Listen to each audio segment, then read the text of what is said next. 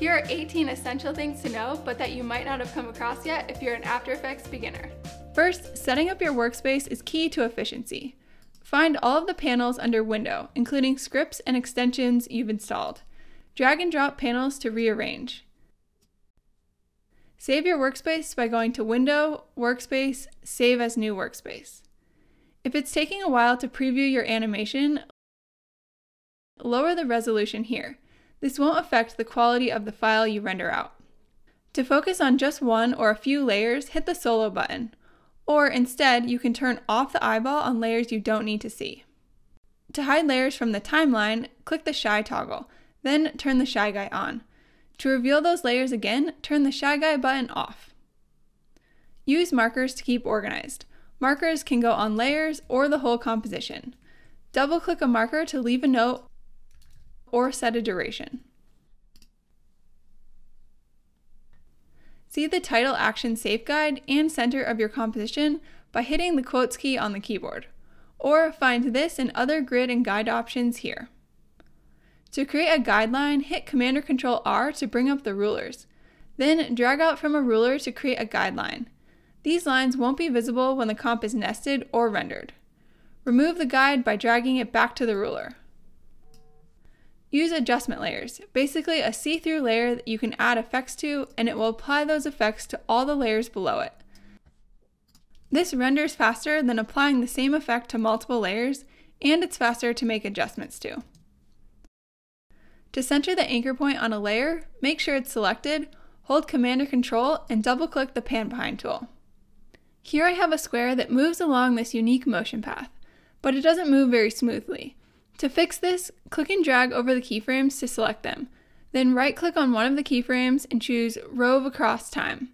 This smooths out the animation because it keeps the spatial interpolation information of all the keyframes, but only uses the temporal interpolation of the first and last keyframes.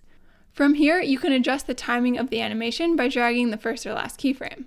And now you could do something like add easy ease to the first and last keyframe to make the animation more interesting.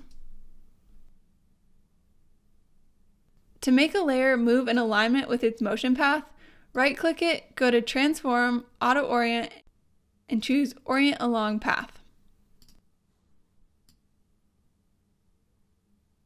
Animate lines drawing in and out by creating a line with the pen tool.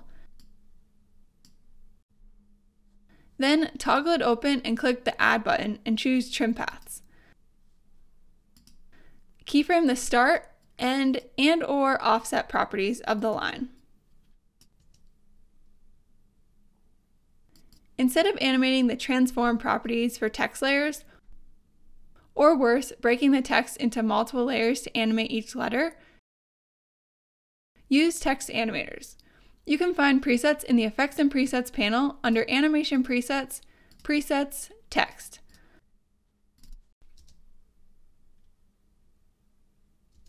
Learn how to create your own custom text animations in this class. Change the color of a layer by clicking the color tag. You can color code your layers to visually organize your timeline, or based on what they are, like all controllers are red. Another reason to color code your layers is that you can easily select all layers of the same color by clicking the color tag and choosing Select Label Group. This makes it easy to manipulate a bunch of layers that go together all at once. You can do the same thing with colored keyframes.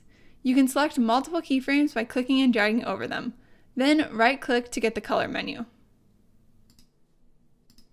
If you can't find a composition in the project panel that's open in the timeline, Right click it and choose Reveal in Project.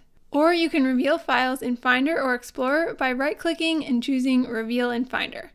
Oftentimes you can open this file, make changes, save it, and then see those changes reflected in After Effects.